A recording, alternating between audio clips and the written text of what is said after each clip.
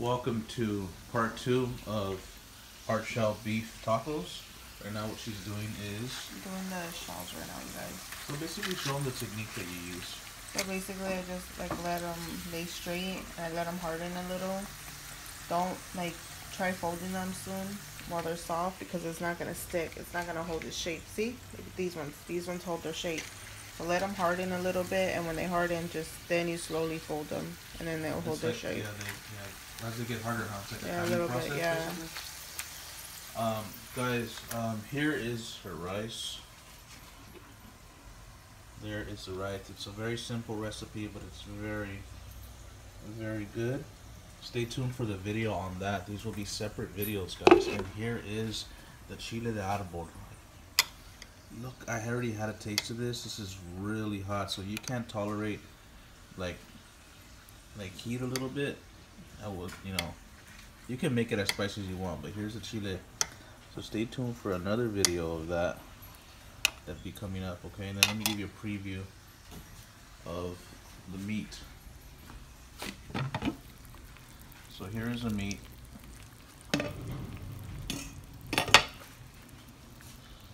Let me look at that. Oh, it looks really good, huh, guys? Check that out. Look at that. Look at that, guys. That looks delicious, huh? Still cooking away, still cooking away. These tacos are gonna be elite. No games.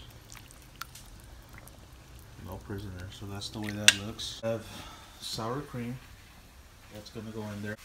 Lettuce, tomatoes, Monterey Jack cheese. That's gonna go in there. We can also. She can also make a video later on. Let me know if you guys want to see how she makes her guacamole. We can make a video of that as well. Part of the video is going to show you how to prepare the taco, basically how we do it, and uh, the final look, and then the mukbang will follow. Right? Yeah. All right. See you guys in a bit. Alright, you guys. So, what I would normally do is get a cutting board and just put the meat, cut it up, shred it. But I'm not doing all that right now. So I'm gonna add some meat on here. Got onion. See that onion? It's gonna give it flavor. That looks elite, huh? hmm Look at that bad You can take it out the juice, drain the juice out. But I like to keep it in the juice because it keeps the flavor. And um, it's really good. Put the juices on. Looks very scrumptious, huh? Mm-hmm. So yeah, guys. Some more meat on there. Shred it. Look at that. I'm not gonna put too much, cause Does it soggy? yeah, it's soggy. And you just add some cheese on there so it can melt. Cause the- the meat's very hot right now. And that's, and that's what you want, you guys. Yeah, baby. So then you go from that and you put your lettuce. I have my lettuce in here. The Ziploc, less mess. Easy to clean up. And um, just like that, add the lettuce. I personally like using the King um, tortillas. King, king tortillas. Yeah, because these are, on this side. these are kind of small, so you can't fit too much. Those are the small grills, huh? hmm So What comes next, then babe? tomatoes. Tomatoes goes next. It would be really good with sharp cheddar cheese, you guys, with this, but Mary Jack's fine though. Monterey Jack's fine. To your preference. Use whatever cheese floats your boat. Okay.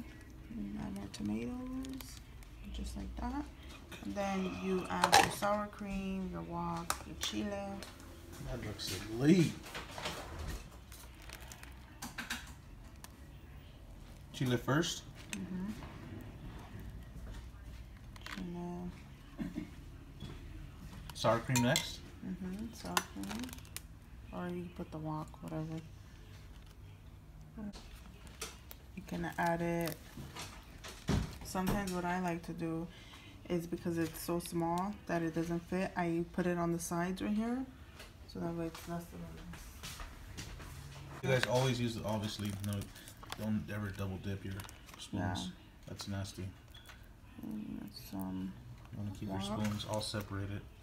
I've seen a lot of people do that where they double dip their stuff. Well, I mean, unless it's you eating by yourself, then go for it. But if you're having people share, eat. Look, guys. Uh, oh, Uh oh. Uh oh. check that out, guys. Falling apart, you guys. Other than that, just add your rice. The rice is done. She doesn't like when you add it from the middle. She likes it from the No. I hate I hate when you like get it from the middle. Always or get your just- rice on the just- end. Or just organized. Yeah, it's annoying. Okay, so there, that's it. Me personally, I'm gonna add just a little more chile because I'm a chile fanatic. So I'm gonna add a little bit on top like that. Look at that right there. All right, so this is it, guys. This is the finished product. Look at that. All right, so here, so next is the mukbang. So I hope you guys enjoyed that. Um, that how to. Stay tuned for the mukbang. It'll be coming very, very soon. These tacos are delicious and it's a must see. You guys definitely try making them at home, all right? Stay tuned. Peace.